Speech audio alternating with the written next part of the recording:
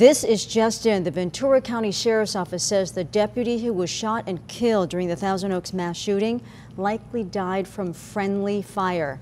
Investigators say Sheriff Sergeant Ron Helus was shot six times, five by the suspect. The sixth bullet, they say, came from a CHP officer's gun and appears to be the one that killed the sergeant after hitting his heart.